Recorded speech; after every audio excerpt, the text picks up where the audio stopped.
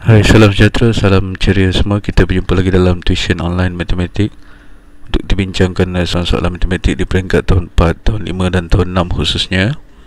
Dan ada juga soalan-soalan yang sesuai digunakan di peringkat uh, seawal darjah 2 dan darjah 3. Uh, di akhir video nanti jangan lupa untuk klik subscribe, tekan butang subscribe, tekan butang share, tekan butang like untuk anda mendapatkan video-video yang terkini.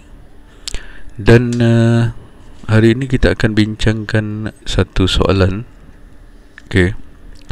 Soalannya adalah Raja di bawah menunjukkan tiga buah eh? Dia ada tiga buah segi empat tepat Yang dibahagikan kepada bahagian-bahagian yang sama saiz Maksud dia segi empat tepat tu ni lah eh? Segi empat tepat ada satu Dua Dan tiga Okey Dibahagikan kepada bahagian yang sama saiz. Okey, alright.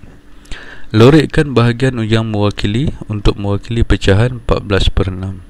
Okey, 14 per 6. Jadi macam mana kita nak lorekkan uh, pecahan dalam gambar raja di bawah? 14 per 6 ni adalah satu bentuk uh, pecahan uh, tidak wajar. Jadi dalam bentuk pecahan tidak wajar ni kita kena permudahkan dahulu. Okey, kita kena permudahkan, kita kena kecilkan. Kalau kita bahagikan dengan uh, sifir 2, eh, 2 darab 7 14 Kemudiannya 2 darab 3 6 Okey.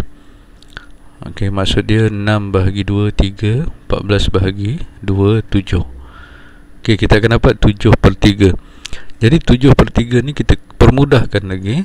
7 bahagi 3 3 darab 2 6 7 tolak 6 1 Jadi kita akan dapat 2 1 per 3 jadi dalam uh, jawapan kita kita akan dapat 2 1 per 3 Maksudnya 2 ni Okey 2 ni adalah Okey maksud 2 ni adalah penuh eh. Maksud dia kalau yang ni 3 Okey dia punya penyebut dia 3 Maksud dia 3 per 3 tambah 3 per 3 tambah 1 per 3 uh, Maksud dia begitu Okey jadi maksudnya ini lah yang mewakili satu satu ha, satu tambah satu tambah satu per tiga.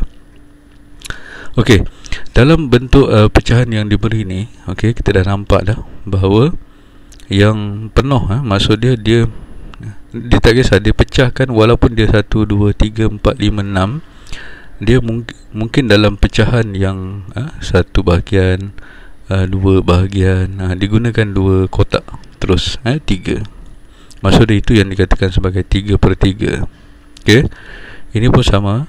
1 Okay 2 3 Okay 3 Alright? Jadi sekarang ni dalam uh, bentuk soalan ini Okay Dia walaupun kotak dia ada 6 Okay Dan kita nampak bahawa pecahan dia adalah 1 per 3 Maksud dia Dua kotak ini mewakili satu. Sebab kotak dia ada enam. Satu dua tiga. Ha, itu yang kena kena faham lah. Satu dua tiga. Yang ni pun sama. Digunakan dua kotak mewakili satu. Ok dua tiga.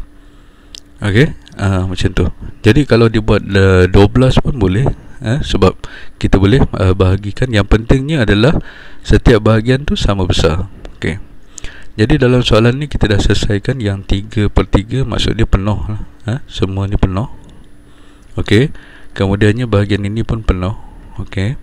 Dan bahagian dia ini dia 1 per 3. Maksud dia satu bahagian saja kita lorekkan. Satu bahagian tu maksud dia dia mewakili dua kotak.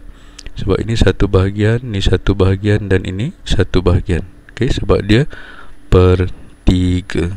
Okey ha, Itu kaedah ataupun cara untuk kita selesaikan soalan ini. Okey, harap semua boleh faham. Dan untuk memahirkan uh, proses ini Banyak-banyakkan buat latihan. Dan uh, jika ada apa-apa persoalan Pertanyaan dan sebagainya Boleh hubungi saya di nombor yang tertera. Okey.